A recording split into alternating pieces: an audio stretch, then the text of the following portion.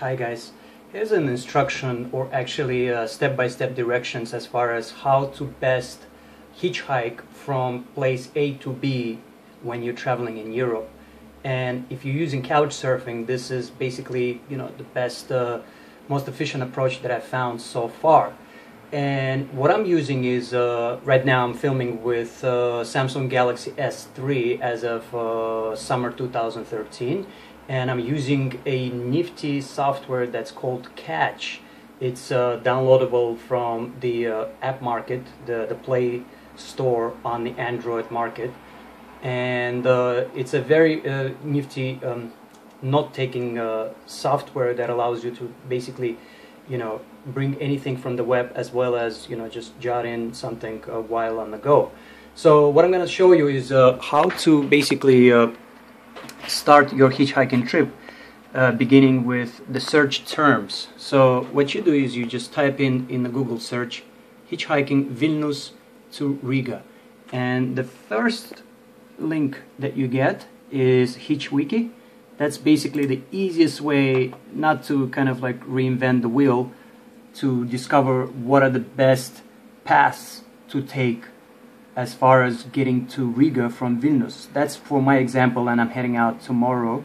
So what you do is you just basically see, you know, it gives you the city, right? Right here. And, you know, as far as planning goes, the best way is to basically ask your couchsurfing host to use uh, his or her computer and you can basically just uh, you know highlight highlight the part that you know tells you the directions. There are three options option one option two and option three. In most cases option one is the best one. So what you do is uh, basically open catch right? So this is the online version of catch. Like I said you can you can you can create new notes uh, and it automatically synchronizes with your Android um, catch. You know what I mean? Uh, so what I did is I created the Scandinavian uh, trip kind of a folder and all the files are within it. And I named this particular one hitchhiking directions Vilnius to Riga. And basically I pasted what I found on HitchWiki right into here. Okay?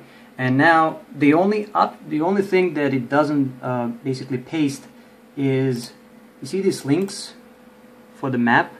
Okay if you press on here it actually shows you the map from point A to B. And it shows you from exactly the city center of Vilnius. Okay so if I zoom in here you can actually see that this is the uh, the center street in Vilnius. I believe it's called uh, Gedimo Gedimino you see? So what you do is you, you see where the A is? So wherever you're staying let's say in Vilnius right your starting point uh, what I'm gonna do is I'm gonna basically copy the address of my host where I'm staying staying in uh, in Vilnius and I'm gonna basically paste it in into the uh, the A portion okay? I'm gonna I'm not gonna show you the address for security reasons you know and what I'm gonna do is I'm gonna get directions. And the map should, should automatically update and tell me how far I am from uh, let's see. Okay so apparently it is 8 kilometers away which is pretty far if uh, the only option you have is basically you know bicycle or something like that from point A to B. But um, you can find ways as far as you know getting on the bus or you know maybe there is a regional train or something like that. So you essentially have to get to point B and then simply follow the instructions in HitchWiki that tells you what to do as far as like for instance in this case it says there are many buses going the, uh, this direction blah blah blah so so it is also a popular spot for locals to hitchhike to their homes smart thing would be to go a little bit further and write your destination on the hard paper, basically your cardboard, and just write Riga. Do not do not ever write the name of the highway. I mean the uh, the number of the highway, no matter you know where you're going. Just write the destination, so the city that you're going to. You know what I mean? So this way, it's uh, much simpler for people to see where you're headed, and they can just pull up. And another important thing is find ways. Let's say if like you know this is the spot where this is basically kind of like a, a Wikipedia for hitchhikers and this is the picture of how this spot would look like as far as where I would have to stand in order to um, solicit for uh, rides okay and what happens is you have to find ways where the cars are slowing down you know what I mean so places like uh, you know before the toll or anywhere like you know where there's like a, a traffic light or something like that or a ramp into a highway because the cars slow down and they can actually notice you. Because if you're somewhere in the middle of the highway somewhere, although I wouldn't recommend in you know places like uh, Germany to be on the highway because the the police will come and pick you up and then you know you could get in trouble for that. They're very strict about that. But in uh, you know Eastern Europe, uh, the, the are cases when I would just get on the highway and uh, there would be no police or anything. You know, it's not really prosecuted. Okay. So try to be not in the middle of the highway because the car's running really fast. I don't know, 120 kilometers an hour.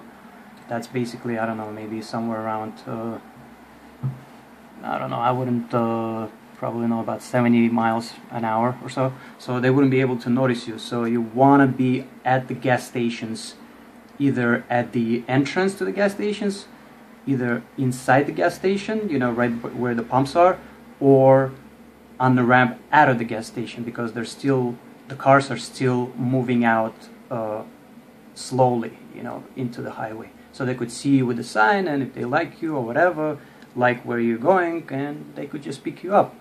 All right, so that's basically it for now. And like I said, you know, just use Catch. I mean, in my case, it works beautifully. Okay, and just follow the directions in HitchWiki as far as how to get to the destination, like where to start hitchhiking from. In this case, it would be the point B. And and then when you press save, right there you see saved. Okay, you want to make sure you synchronize with your phone. The one, the phone that I'm using right now, you basically have to be on the Wi-Fi in order to synchronize. If you if you forget to synchronize this uh, this file, this data, then chances are you will not be able to read this once you're out and about. And if you have an American phone without internet connectivity in Europe, you're basically screwed because you will not be able to access this information. All right. Uh, this this avoids basically writing something on paper, and you know it's disposable anyway. You know you, you go from point A to B, and then once you're done, you don't need this information. You know what I mean?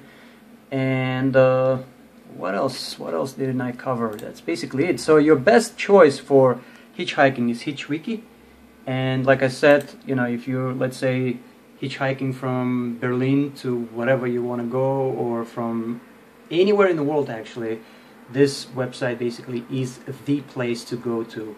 And uh, if you have some successful hitchhiking time uh, from point A to B that you discovered yourself, please feel free to share with this website. So this way other hitchhikers can use your information and directions so that uh, you know for future references even for yourself when you are returning back to that destination.